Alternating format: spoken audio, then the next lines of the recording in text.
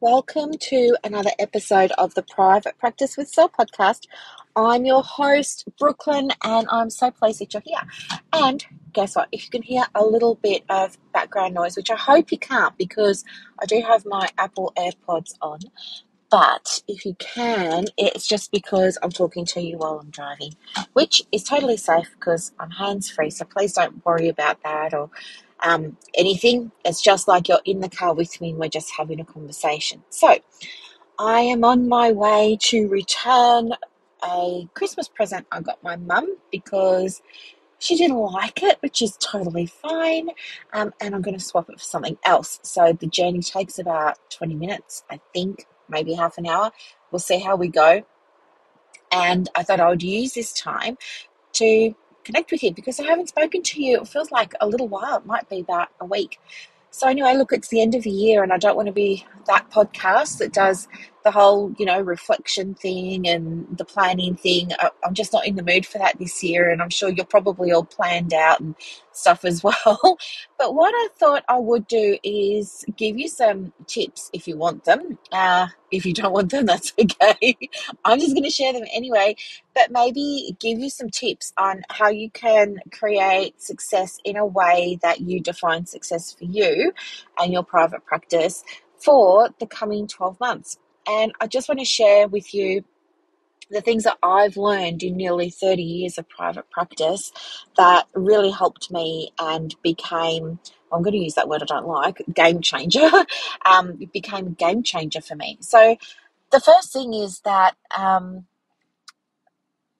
when it came to creating success, for the longest time, I was just winging it in private practice. And I know now that that was a big mistake because it did end up costing me not only money and energy and time, but nearly cost me my sanity. I mean, I was so down on myself and so frustrated and so, you know, so many sleepless nights and things like that. And I would often feel like, oh, I'm doing all this work and it's not paying off. And then you know, my husband at the time, one of my husbands, I'm like Zsa Zsa Gabor over here. I've had a few of them, but the husband at the time, the husband du jour, was, you know, sort of saying, hey, you know, maybe we give this private practice gig a, a break and you go and work for someone. Do you know what I mean? And so I was just dealing with that, which isn't great when you're trying your best to maintain your own confidence. Then you've got loved ones around you going, yeah, well, maybe just give it another few weeks and then get a real job kind of thing. It's it's not nice. And what I know now is that had I gotten help or allowed myself to be helped, I could have created success a lot more quickly. And for me, at that point in my life, so I'm going back, or let's say 20 years ago, for me, that was very much about the finances because um, my husband at the time, he was very depressed. I was married to somebody who had, um, you know, multiple diagnoses. He had bipolar mood disorder. Um, there were symptoms and signs of schizoaffective disorder, but not enough to meet the diagnostic criteria according to the psychiatrist. So that was challenging. Um, plus, there was anxiety, plus, there was depression, right? You, you get the idea. And this essentially meant that he was in and out of work, like there was no stability there, um, and just moody. And at that time, too, I went through a very bad experience myself. I was doing some contract work with a big organisation. I won't say the name because you will recognise and know who they are, but um, I was doing some contract work for them. And what ended up happening was for the very first time, this is the only time I've ever, ever, ever had this happen to me. But I was working and I got to work I opened up the office and I saw a client sitting there in the hall. You know, she was just sitting outside. The the building wasn't open yet, so I was the first one there. I saw her there straight away, so and told me she was my client. I asked her her name. She's she told me. I said, "Yep, you're my client. Do you want to just give me a minute? I'll go and open up the office." I went and opened up, and I was so so naive, and I was so so trusting, like because I'd never had any negative experiences. So I just went and opened up the lights and I turned on and I opened up the blinds and turned on, you know, the coffee machine and I did all of that. And then I said to her, Well, you know what, you're here now, so let's not wait until eight thirty for your appointment. Like you're already here, it's ten past eight, I'll just see you now and that way you can leave early. And she said, Okay, that'd be great. And then I took her into the office and it was a corner office. You know such a cliche, isn't it? But it was a corner office and it had glass overlooking the beach. And um, you think it's going to be a beautiful spot to work, but you actually don't face the window in this office. You're facing into the office, your back's against the, the window and against the corner. But anyway, um, there's glass walls and there were the interior walls were glass as well. They've been frosted, you know, for privacy and everything. But anyway, so I take her in, and as we're doing uh, her session, uh, people are arriving to to work, and it's all great. And then um, what happens is, middle of the session, she has a psychotic episode and attacks me. And well, I don't know if you say attack or if you say assault, but it was pretty scary at the time. She flew across the desk at me. Um, she was just away with the pixies. She flew across the desk at me with such force that I was on one of those desk chairs that you see typically at an office on the little caster wheels and everything. Um, I went cas- careening, cascading, I don't know. I, she pushed me and I went right back on my chair into the glass wall. And I was so worried that I was going to drop three or four stories into the asphalt below. It was so scary. Um, and yeah, and then I was down on my back and she was on top of me and she was hair pulling and scratching me and, you know, choking me and all of this sort of stuff. And I didn't know what on earth was going on. And lucky for me, I couldn't get to my duress alarm. It, it was under the desk, but um, I wasn't anywhere near under the desk. I was up against the the wall on the floor, laying on my back on the floor up against the wall. But anyway, one of the guys that worked there had just arrived and he'd heard that there was commotion and he opened up the door to see if everything was all right. He saw what was happening, called one or two of the other guys. They all pulled her off me, da da da da da. We got the um, ambulance and the police. Um, and then, yeah, it turns out that this lady was released from jail the night before. And I don't know, she did well to get to the appointment, considering she didn't really have transport or anything. I don't know how she got there. But yeah, she was, I don't know, there was something wrong. I don't know if she was off her medication or if maybe she'd taken something. Um, but yeah, she had a psychotic break. And of course, I didn't press any charges or anything like that because it's mental health. What are you going to do? But would you believe, and I know I'm digressing a little bit, but I just want to share this with you. Would you believe the other thing that happened was um, the very next day, the very next day, uh, well, hang on, that day, I'm just all in a daze, right? And everything's kind of happening in a whirlwind. But my clients are piling up in reception. There's nobody there to see them except for me because the company that I was working for were renting a room at this business. And um, anyway, nobody had gone and told my clients, look, she's not going to be able to see people today. And clients were starting to get aggressive out in reception. So I was like, do you know what? It's just fine. I mean, I was in total shock. I can see that now. I didn't see it at the time. I was in shock. I shouldn't have kept working, but I did. And I saw the rest of my clients for that day. And to be honest with you, there would have been about eight of them. So um, I saw my clients. Toward the end of the day, I called my husband um, and told him what had happened. And, you know, I guess the, the anxiety and all that hadn't had a chance to kick in because I'd just gone from being assaulted to dealing with a police, I say cops, dealing with the police, to dealing with the ambos. And then what was happening was I was um, dealing with clients. So I just went straight back into work mode, call him, tell him what's happened.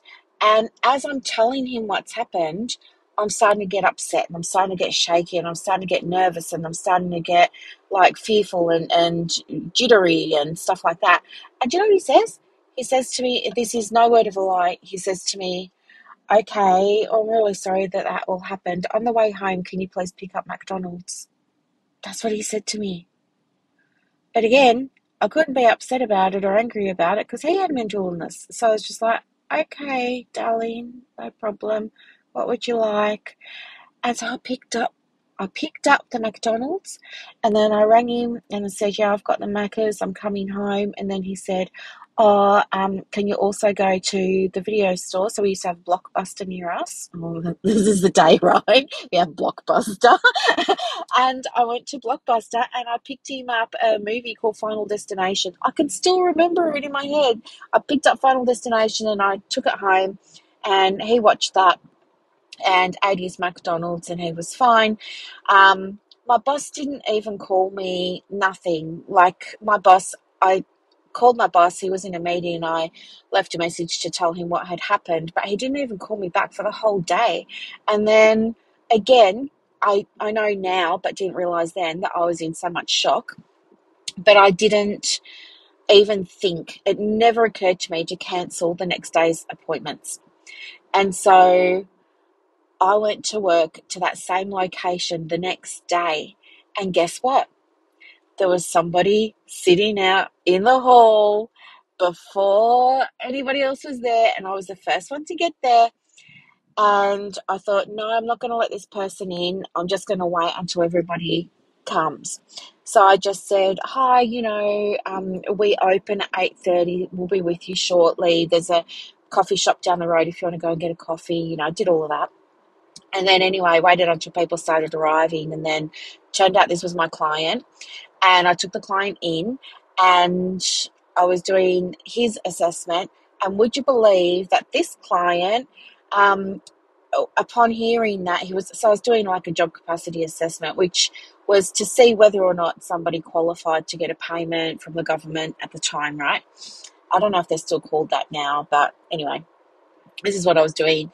And yeah, so he asked me at the end, like, is he going to get his payment or something, or what? What am I putting in the report? Da da da. And so I'm just totally transparent with him, and I said, well, we need some more evidence from your doctor about this, that, and the other, um, before we can finalise the report. But haven't got finalised today, you know, etc. etc. He lost his marbles, and um, yeah, he pulled out. It was a hypodermic. Pulls out a hypodermic because that was back in the day when that was a thing. Well, in my area where I was living and mostly working at the time, it was a very low socioeconomic area, and we had big issues in um, my area with people with hypodermics and leaving them around, leaving them um, in streets, leaving them in shopping centres, leaving them in bathrooms and toilets, leaving them in um, uh, at the beach, you know, just like littering with them and everything. It was a real big thing. So there was a lot of education that was going on in our community at the time about, you know, steer clear of hypodermics. But he had a hypodermic and, yeah, told me that he had hep and he was, yeah, ready to get me with it. So he was another one that lunged across the table with his big needle. Well, to me, it seemed very big at the time. It was all I could focus on. I couldn't describe his face, but I could tell you what the needle looked like. Um, and yeah, again, I'm unable to get to the duress alarm and again, it was just because the guys at the desks on the other side of my partition could hear that there was scuffling. They came in. And so, anyway, isn't that so? Yeah. So that's kind of what happened. And um, I don't know, like I started this story going somewhere, but you know me, I often go off on tangents. This was about, I was talking about being married, I think, wasn't I? I can't remember.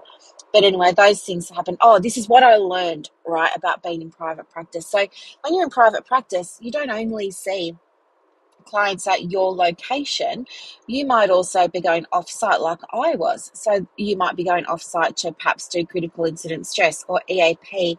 But for me, it was, um, you know, those things. Plus, also from time to time, I was doing these job capacity assessments and um, doing stuff for Social Security's Appeals Tribunal and, and stuff like that. And it was most of the time the work was fine, but it was the only time I'd ever been attacked or assaulted. I didn't see it coming, and I had two events in 24 hours and no support. I didn't have um, my clinical supervisor was on leave.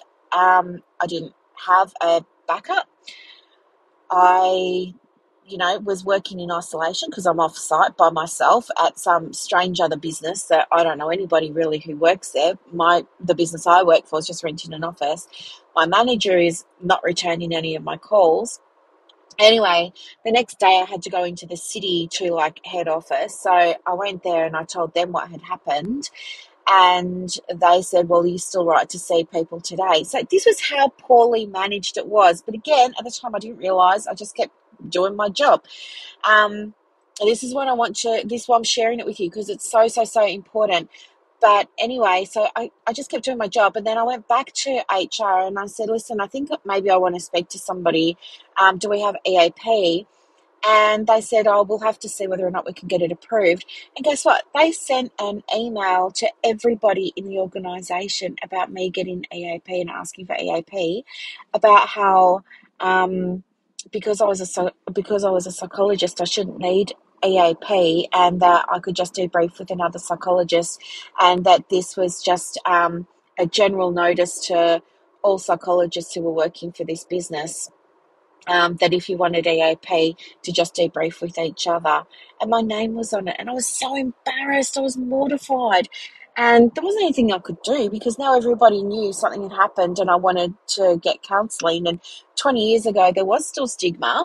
Um, and especially amongst in psychology then, um, there was stigma amongst like colleagues. Like I didn't want my colleagues who I was in charge of, I was their boss, I didn't want them knowing that I needed help. And anyway, so it was a real, real mess.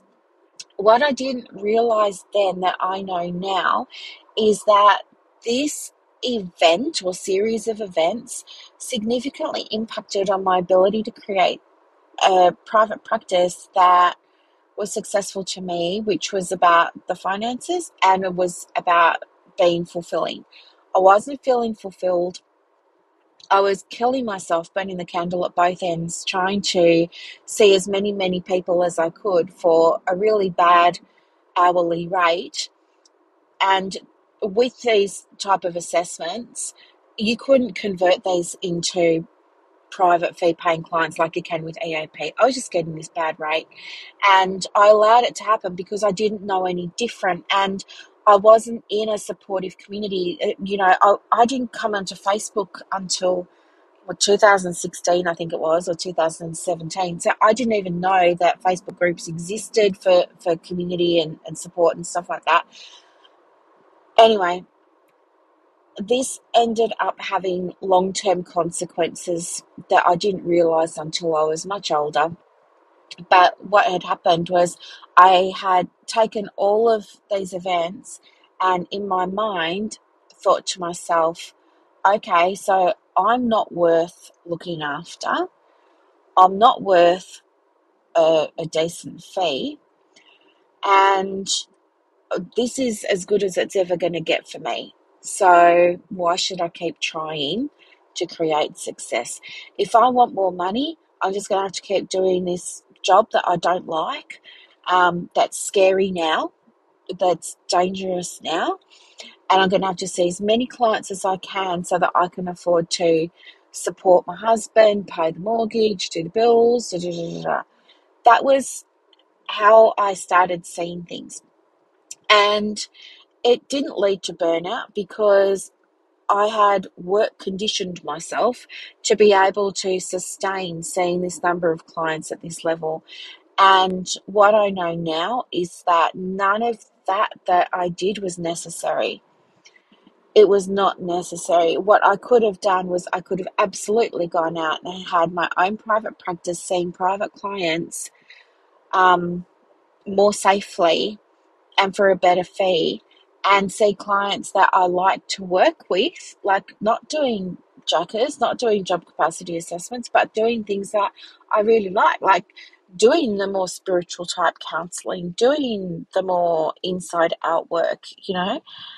But for the longest time, I didn't realize that. Um, I didn't realize the the extent of the damage that had been done to my confidence, to my worth, and to my self esteem as a result of not having support, not having support from friends and family, Also, I didn't give many friends the opportunity to support me because I was ashamed. I was really ashamed. And when I did say to a couple of people, you know, I think maybe I've got a little bit of PTSD or I think maybe I, have got a little bit of anxiety, people would say, How can you? You're a psychologist. And then I would close up again. And then I wouldn't tell anybody about it again. And so there was all of this stuff happening, and it affected me for the longest, longest time. It affected me because I didn't see the worth in the work that I was doing. I didn't see the worth in the fee. I didn't see the worth in myself. So for the longest time, I stayed working with this difficult demographic of client because I didn't think I was good enough to do anything else. And I undercharged for my services for the longest time because I didn't think I was good enough. I was my worth was dependent on what other people thought of me back then. And I thought if other people valued me, if, you know, I'm not even worth EAP for goodness sake. I'm not even worth privacy and confidentiality for goodness sake. I'm not even worth more than this session fee per hour for goodness sake. Like it really affected me for many, many years. And as you know, I'm working with a money coach at the moment, so all this stuff is coming up.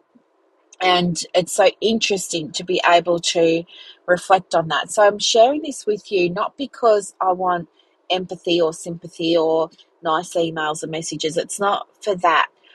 What I want you to take away from this is please make sure moving into the next year that you're surrounded by multiple avenues of support. I want you to, in your podcast journal, you know, maybe hit pause on this episode in a moment, but I do want you to, um, you know, get out a piece of paper or get out your journal in on a fresh piece of paper. In the middle of that piece of paper, write the word me just write the word me and put a circle around it. And then I want you to put other circles, smaller ones, around that. And in each one of those, I want you to put the names of people who can support you. So put the name of your supervisor, put the name of your private practice coach if you've got one, um, put the name of your bestie, put the name of a colleague or a peer that you respect or look up to or trust, put the name of your doctor, put the name of you know, somebody that you would see if you ever needed counseling for something, you know, somebody that you would trust. If you don't know who you would see, start keeping an eye out in the groups for people and um, make notes of anybody that is writing comments that, you know, really resonate with you or that make you feel a sense of respect for them or, or admiration or like they know that what they're talking about. They know their stuff. But please keep this somewhere because you just never know what's around the corner. I never, ever, ever, ever, ever want anything to happen to any of you, especially to the extent that it happened to me. But working in mental health, most of us, not all counsellors work in mental health, by the way, um, but most of us that are working in mental health may have an experience or more from time to time where we're dealing with traumatic events that happen in our practice.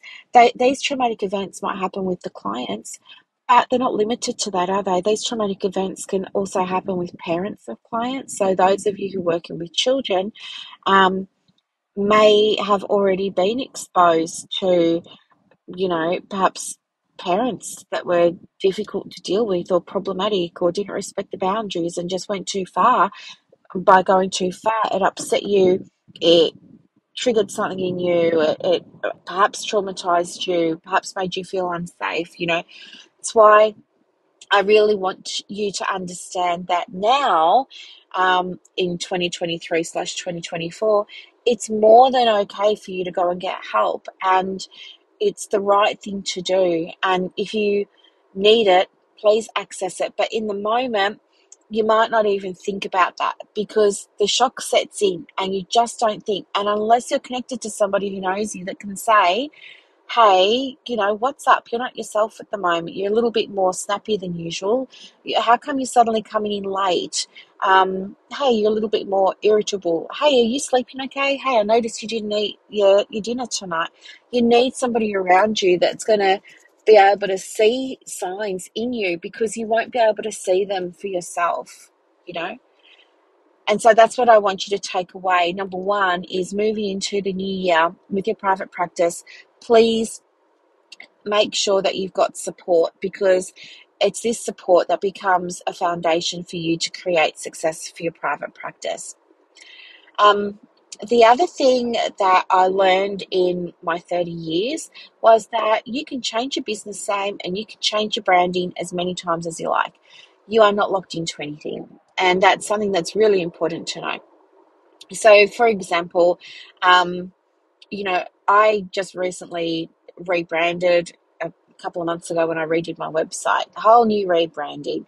Um, it's all now lovely shades of pink and florals. I mean, it was dark, moody florals before, but now we've got light, bright florals. We've got baby's breath, we've got pink roses, apricot roses, all that kind of stuff. Um, I've just gone and, um, well, I'm in the middle of doing upgrades for all of my memberships. It's going to take a couple of months, but they're all in process and they're all getting a rebrand. Um, but my business, it's had multiple different names, it's had um, multiple different colors, it's had multiple different logos. And I want you to understand that um, if you are in the mood to give your branding a facelift, go for it. Like, do it. Just enjoy it. Nobody's going to care. You're not going to lose clients because you changed your branding. I think what happens is, you know, sometimes people say, oh, but your branding needs to stay the same in order to build a reputation. I think that doesn't apply in our industry.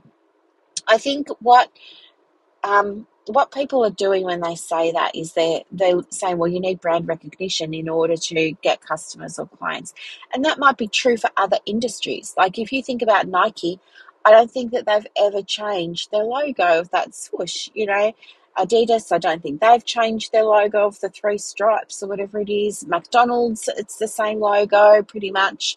I think they went through a couple of um, changes when they were first starting out, but now it's pretty much the golden arches. Um, so it's a thing in those other industries, like maybe in retail and hospitality, you need to have consistency with the logo. I believe in our industry, whether you're a psychologist, a social worker, a counselor, or whether you're in other alternative or natural or complementary therapies, um, I think what builds our client base is our reputation for the work that we do. And I think people aren't going to give a hoot what color your, your brand is this week. They know you, they trust you, they like the way you work, um, the outcomes you get, the results you get, the resources you share. It's about you. Um, and it's about how you show up, it's about your energy, it's about your vibe.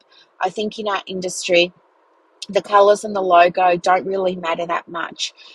The reason that I want to share this with you is because some private practice owners that I've worked with have still got the same branding that they've had, but it's not feeling congruent with them anymore. And they've evolved. Like they were doing one thing when they started, but now they've gone done all this extra PD and they've got they've started working with a different client base, but their branding isn't matching now what they're doing, but they don't want to let it go because they've been told that they've got to keep everything the same. I'm here today to say to you as living proof, no, if you need to change it so it better matches what you're doing now and who you are now, go for it. Just change it. You absolutely can. It's totally fine for you to do that. Okay, so evolution is part of the business. And to be honest with you, how lucky are your clients to see that, wow, your practice is evolving because you've got these new skills now? Wow, that, that's so amazing. Can you help me? Can you help my brother? Can you help my friend? This is a good thing. Clients like it when we upgrade. It's kind of like, um, I don't know, if you think about styles and fashion or interior design or something like that. You know, we don't want to be too dated. we we always want to keep fresh with our business and fresh with the way that we work. Our clients want to see that we are up to date with the latest therapeutic modalities, with the latest um, uh, you know evidence-based interventions with the with the latest education and knowledge they they want to see that you're keeping up to date with everything so please don't ever feel locked into your branding. It's totally fine for you to change it. The other thing that I wanted to um, share with you is do get regular supervision.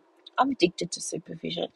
My poor supervisor, she's just amazing. I've got the best supervisor in the whole wide world. In saying that, I haven't seen her for I think about six weeks, but I am due and I will book a couple of sessions with her for early in the new year to catch up. But a good supervisor is worth their weight in gold. Now, I've had supervisors before in 30 years, I've had many supervisors, and I like to stay with the one supervisor for as long as I can because it's just to me so much easier. I can dip in, I can dip out, and I don't need to restart my story. They already know me. Um, they already know my strengths. They already know areas I need to work on. They already know, yeah, what I'm what I'm like, and they they can be a really really great barometer for, you know, how I'm going in my business, and they can be a really great sounding board because they know how I work and they know my style, and it's just great. I love it so much.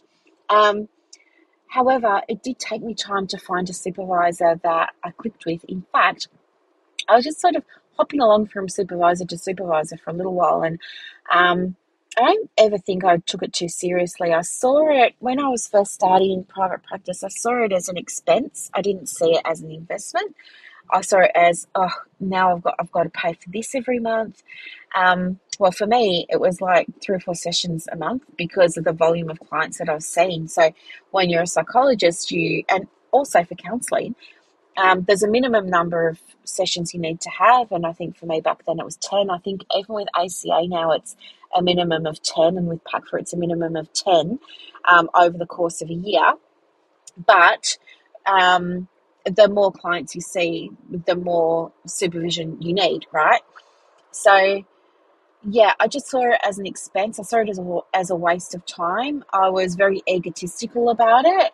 I will tell you that, you know, I struggled to find a supervisor that I'd click with because of my own ego. I was going into supervision thinking, this is going to be a waste of time. I've got somebody less qualified than me that's going to like tell me how I should be running my business or how I should be working with clients. And I was resistant. I would book sessions and cancel them. And I was a real pain for so many supervisors because just my ego, I couldn't get out of my own way with it.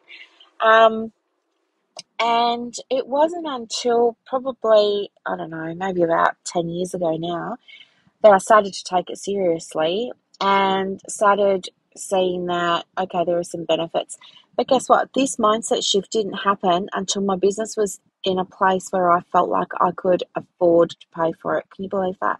I was in scarcity mindset financially with my business for such a long time that I used to get angry about paying for things.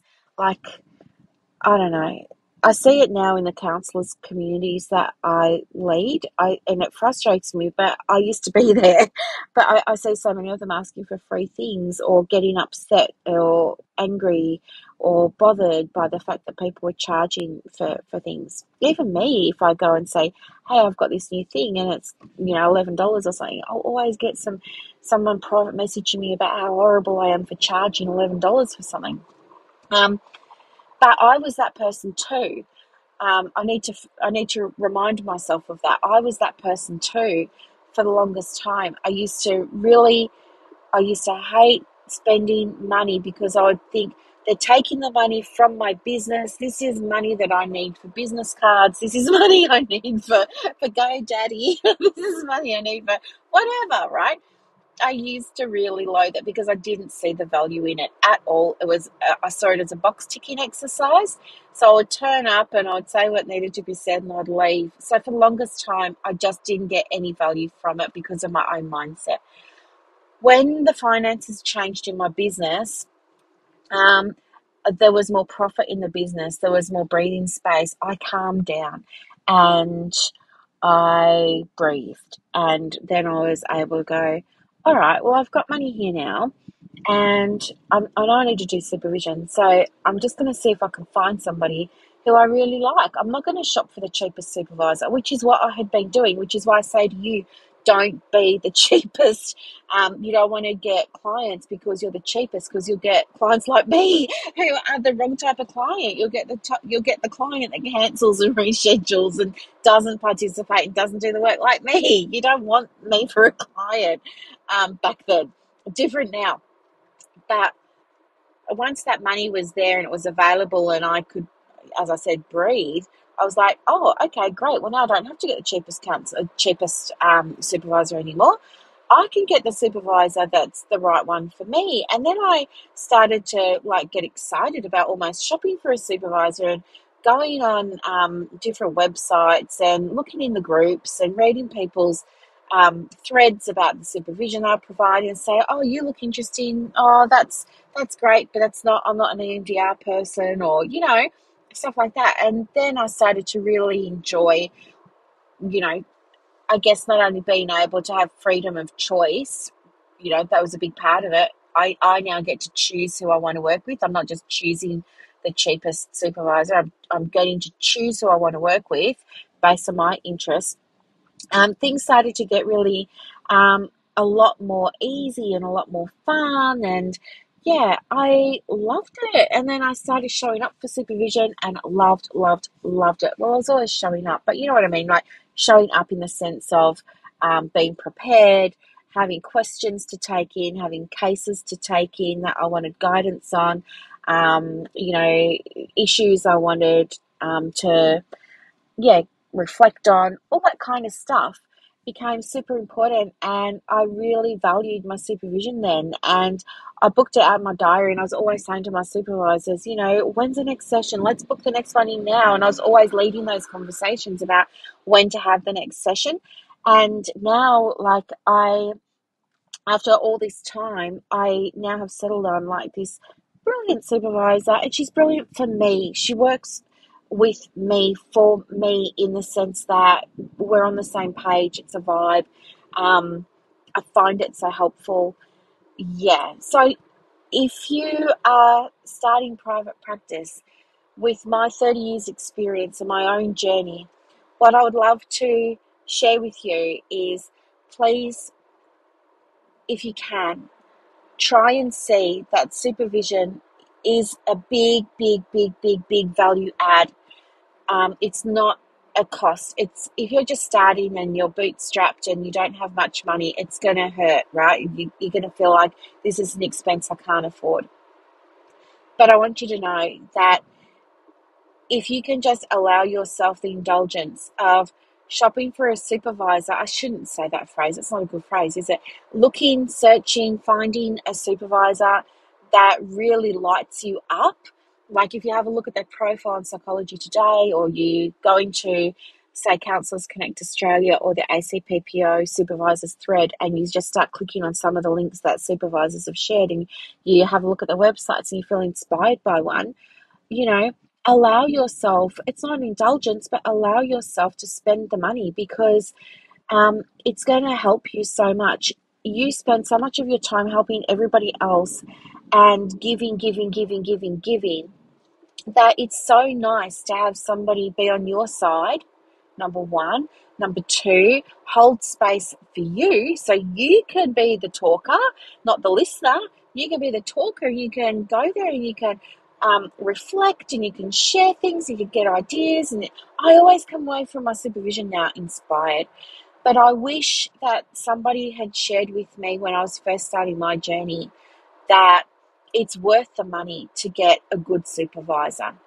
And a good supervisor doesn't have to be somebody that's with the ACA or with PACFA. You can have those supervisors, that's fine. But you might get a professional supervisor, or you might get a supervisor that, um, I don't know, isn't isn't with anybody, but they're perfect for you. Like they've done they've done the training, they've got the qualification behind them, they're in the supervisor association, they've, they've ticked all their boxes and everything, but they're perfect for you because the way that they work, who they are, their experience, their vision, um, the way they show up, it all makes sense. And you just really like this person and the way that they work.